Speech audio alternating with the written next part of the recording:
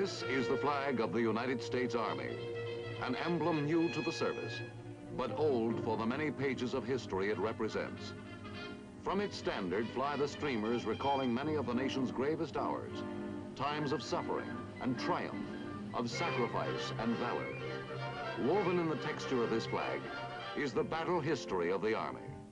It is testament and monument to the courageous spirit of America.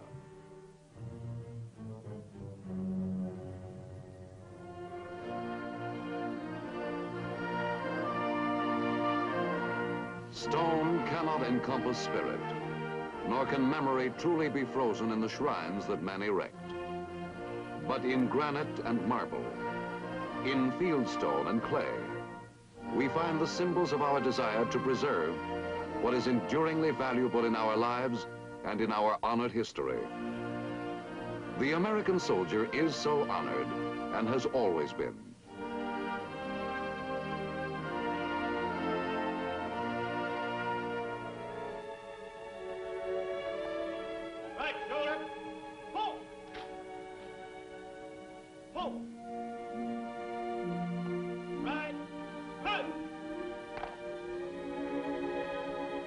Tomb of the unknown, on a green slope in Arlington Cemetery, the bodies of three heroes lie buried. The unknown soldier of World War I and the recently interred unidentified heroes of World War II and Korea. Symbols of all heroes who fell in the wars of the nation's maturity.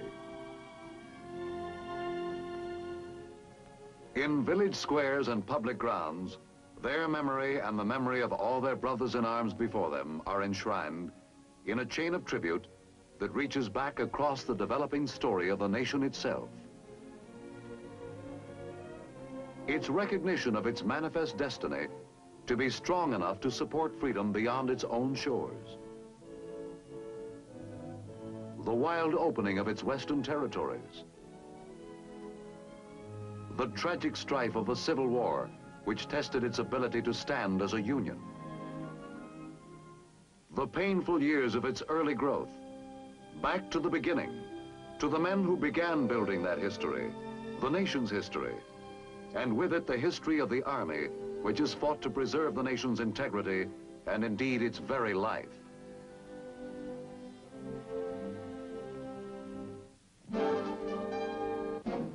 These were the first, these embattled farmers, as the poet Emerson called them, the Minutemen, who stood at Concord Bridge and fired the shot heard round the world.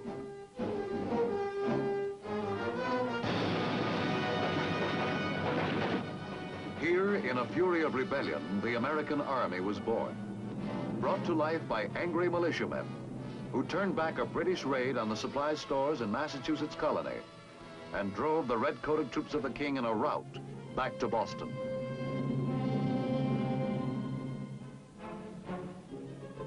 They began their great adventure as a group of individuals, united at first only by something intangible in the already emerging American spirit, a sense of the importance of independence. They came down from their farms and out of their shops to take up arms with the idea only of standing up for their rights against a domination which had become more oppressive with the years. Fate gave them a leader, and under him they built a unity in arms, a fighting force in which they could wage their growing rebellion with a hope of victory. The Continental Congress gave their struggle a direction that was breathtaking in its audacity and sweeping in its vision of man's rights. And now the soldier of the revolution was fighting for more than a vaguely felt idea. He was fighting for the creation of a new and free nation under handicaps only dimly understood by the 20th century American mind.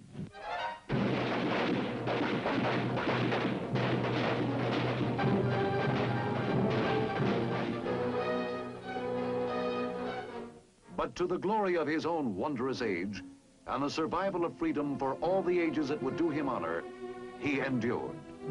Through black defeats and incredible hardships, he endured and went on to shape the victories of Trenton and Saratoga, and finally the splendid triumph of Yorktown, where the dream of liberty at last took life.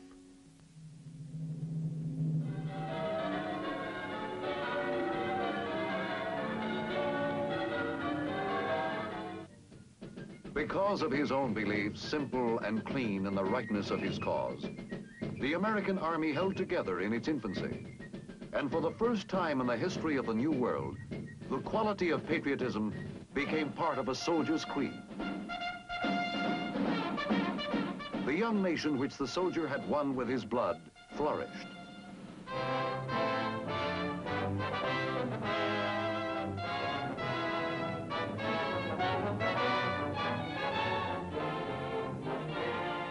Bedrock of political morality gave it a base on which its hard-bought freedom for its people could grow.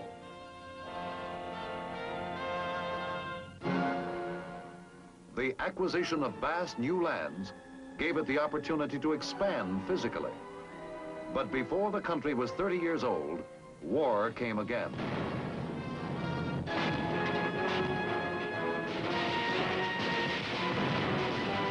The conflict with the British this time was over British interference with the rights of American seamen.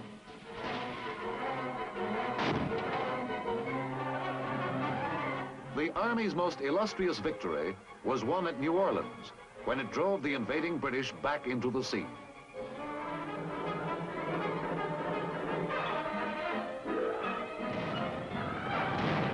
Although this War of 1812 was primarily a naval one, the country learned its need for a professional standing army.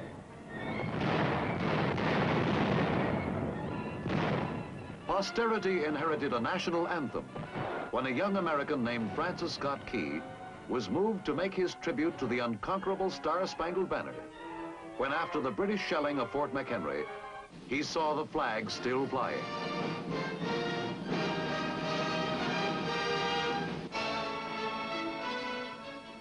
The Lone Star State of Texas prepared the preface to the next chapter in America's history.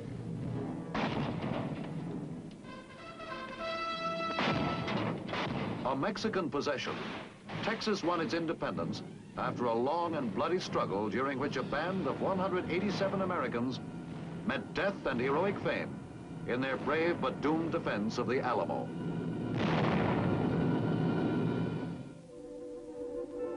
When Texas became a part of the United States after its independence, trouble between the United States and Mexico began to broil and finally erupted into war.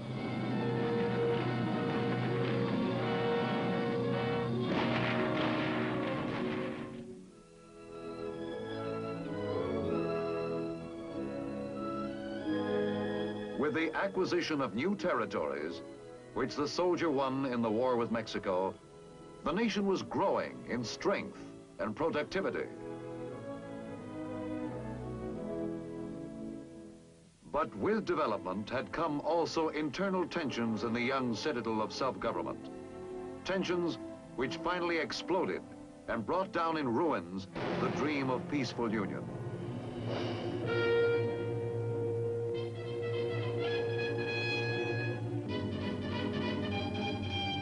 The most tragic of all wars, that of brother against brother, was forced upon the nation. The Confederate soldier had behind him the unified effort of a culture that was actually a way of life. He had as well a superb military organization backing him. But more than these, he had the hot and defiant pride of the rebel, with the rebel's formidable confidence that his will shall prevail. A Confederate poet wrote, The world shall behold in many a distant port another flag unfurled. And from the rapidity with which the Southerner began chalking up victories, it looked as if it might happen.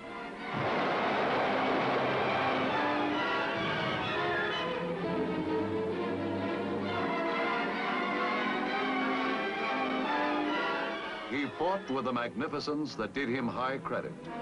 And in the end, it was not so much his spirit as the resources of his army that failed him.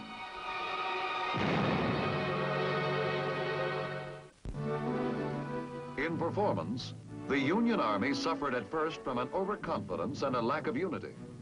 But in the crucible of combat, these were corrected.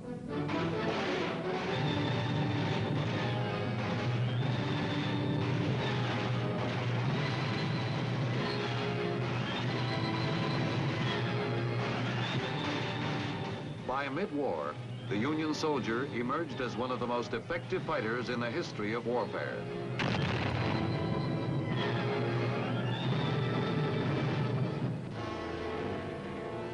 The Civil War has many distinctions in the annals of arms. It was the first modern war. It was a war of sweeping movement. It was a war of mass fire. Spectacular plans were brilliantly executed. Its campaigns are still studied as classics of combat.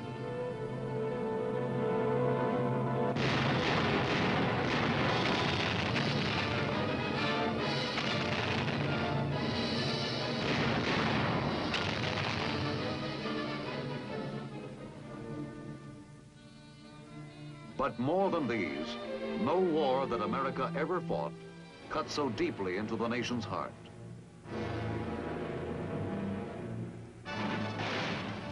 Grim, heroic figures in blue and gray who stood against each other on a succession of battlefields whose names are now part of our heritage created images that would never be far from the American mind.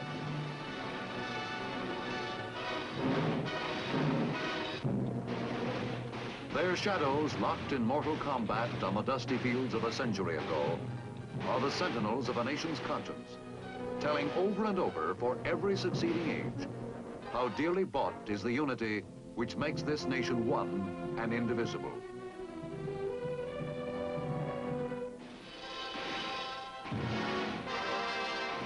In the end, it was the soldier from the north who prevailed. His industrial power was superior, his supply of manpower wider, and in the perspective of history, his heroic sacrifice gave us the Union forever.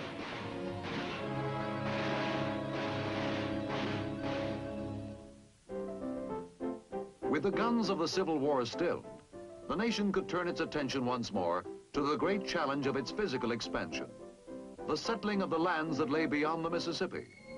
Pioneer America was on the move.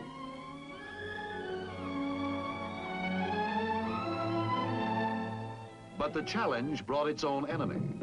The Indian, who had resisted the white man's settlement of the new continent from the beginning, had grown bold and powerful in the years the country was absorbed in its struggle for the Union. Now he was able to show in fierce strength his opposition to this extension into the buffalo hunting grounds.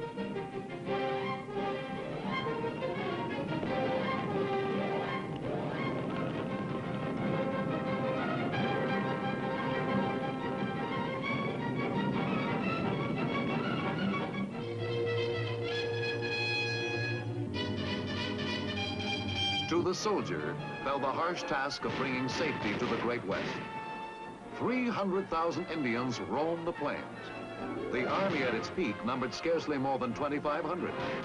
From the Rio Grande to Canada, from the Mississippi to the Pacific, the soldier was the arm of the national authority.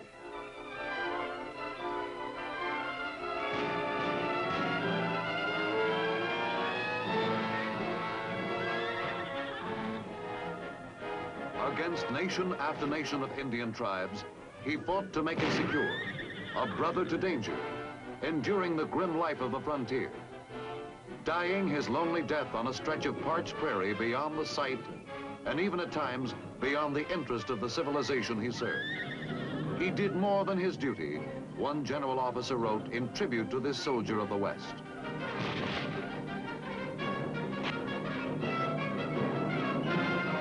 He did more than his duty.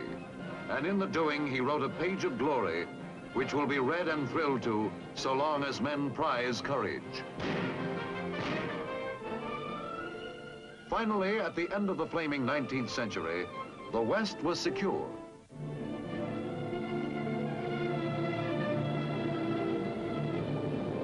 From sea to sea, the American nation now stretched, strong and free and vital.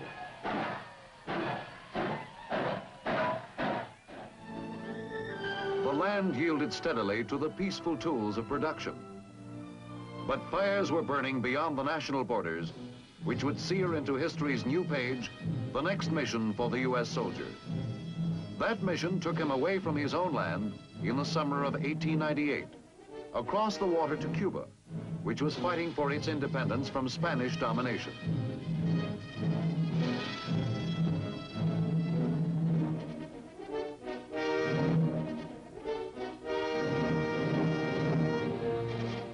The Spanish-American War was a short one. The soldier handled himself well.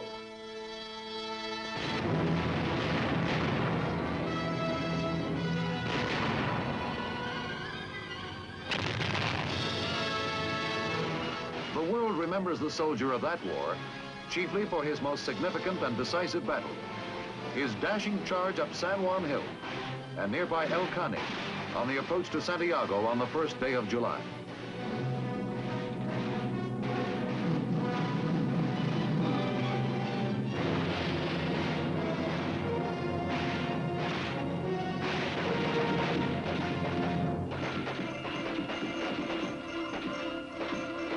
Victory in this war brought the Philippines, Puerto Rico, and Guam, as well as Cuba, into U.S. possession.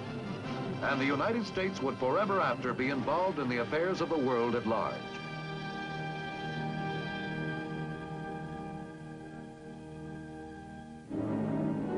The next involvement for the soldier was in his own hemisphere. A punitive expedition into Mexico in 1916 in pursuit of Pancho Villa, the Mexican bandit who had destroyed American life and property on the border. In the perspective of history, it was a minor campaign, but it was important to American self-interest and self-respect, and it prepared the Army for the most challenging test it had ever had. World War I saw more than two million Americans in arms.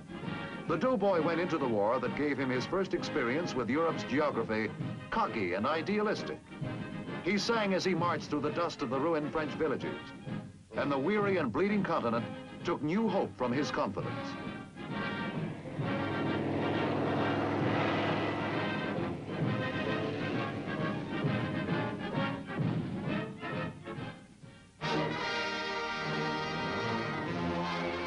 Battle dimmed his exuberance, for men mature quickly under fire. But the spirit and the effectiveness with which he fought earned for him a high place in the respect of all the nations of the earth.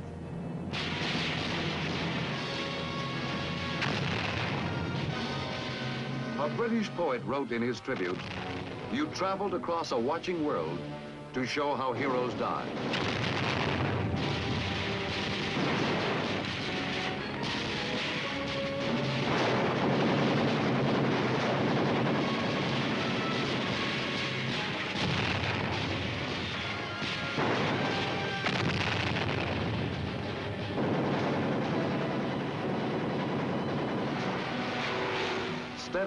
Progressed through the Holocaust of Cantigny, Chateau Thierry, Belleau Wood, the Marne, the flaming horror of the Argonne Forest. He turned the tide of battle.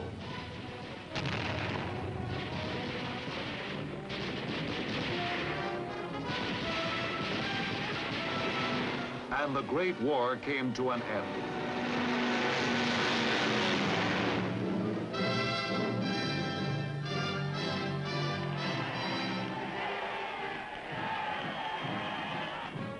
The world was truly ready for peace. Certainly the veteran of that war hoped he had brought about a world that would be free of war forever after.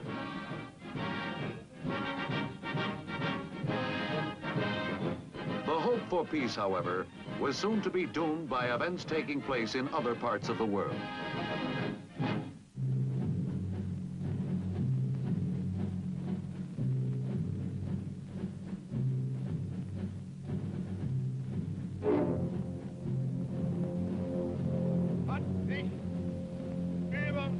Bewegung ein schwarzer Schatten erhoben. Die SA hat so wenig als irgendeine andere Institution der Partei, die es wagen, sich an ihr zu versündigen.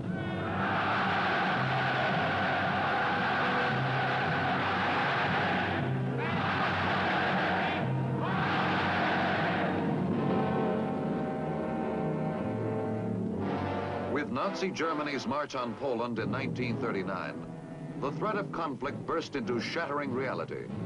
war of a dimension the world had never seen was introduced. Before it was ever involved, America began preparing its men. The long conversion from citizen to serviceman began. Sometimes it seemed like a hopeless task.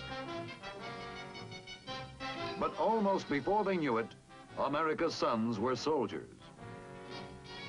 Their training for war, however, began under conditions something less than realistic. It was still possible to believe that America could remain untouched, and war still seemed remote.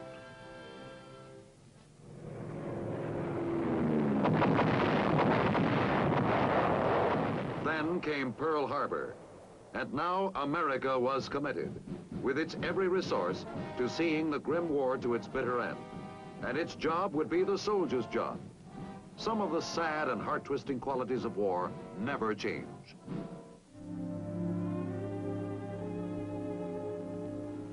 And some change enormously. World War II had almost the entire globe as its battlefield.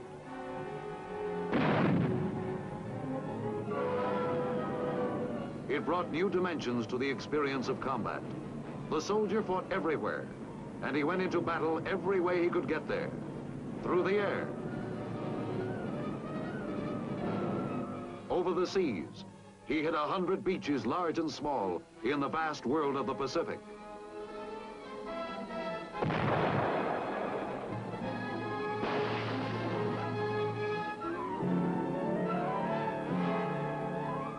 Fought his way through jungle hells whose names the world had never heard before. And on the other side of the globe, he inched his perilous way through the bleeding fields of Europe.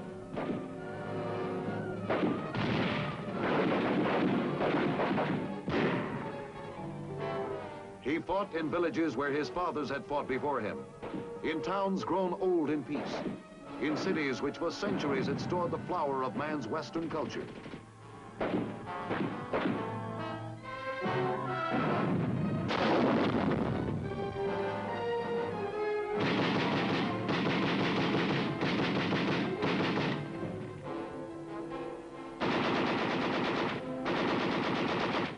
Destruction lay in the wake of every victory won. The blood of heroes colored every mile of ground. Biting weariness and aching loneliness lay behind every statistic of success. But through city after city, the victorious soldier pushed on, and the jubilation of the people was his reward.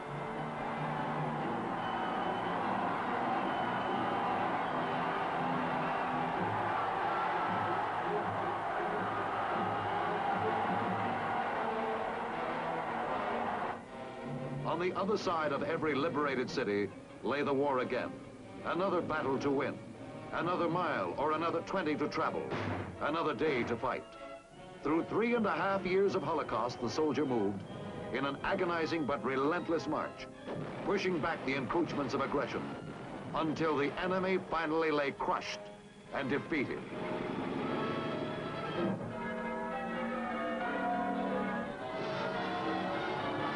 How jubilant was the taste of victory. How sweet the rewards of peace.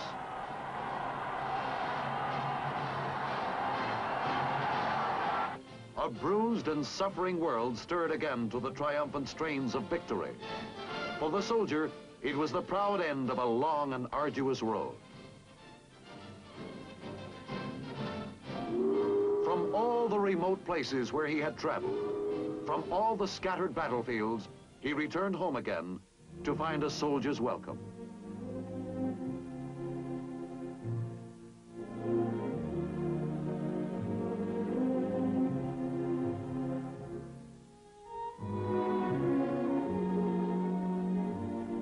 He returned to the life he had left as citizen soldiers for generations before him had done.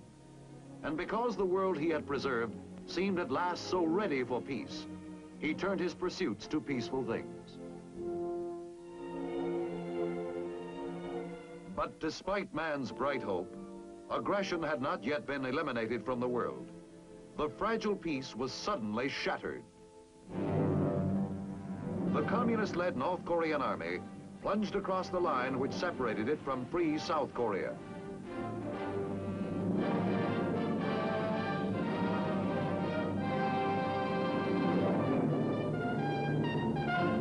And now, once again, the soldier was on foreign soil, making his soldier's way through the kind of troubles which had always beset his brothers.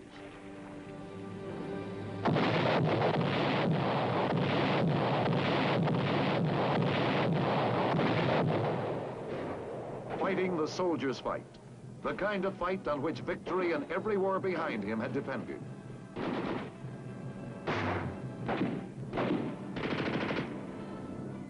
Korea added new names to the honor roll of heroes. It added new listings to the roster of once unfamiliar places, which would forever after be part of the nation's history. Taejon, Seoul, Old Baldy, Pork Chop Hill, and it added another page of valor to the soldier's record. And like all wars, the cost was high. For bravery is not cheap, nor are any of the qualities which give a man what it takes to stand and fight.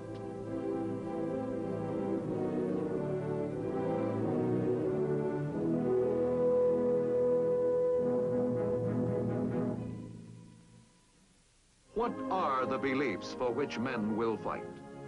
They range from faith in a nation which strives under God to achieve its destiny, from a capacity for honor that springs perhaps from something fundamental in man's spirit, from these all across the broad range of human experience. Through eight generations and a dozen wars, the individual American within reach of the enemy's cannon has searched for his personal identity with the massive forces of history which have made him and his rifle the agents of the national interest. And because he has in his own way, in his own time, found his answer, his nation has found in every succeeding test a victor's strength and a shield for peace in the modern army of today. He has fought well, this soldier of America's heritage. He won a nation, built it, and defended it against every threat to destroy it. And his most enduring monument is that nation itself.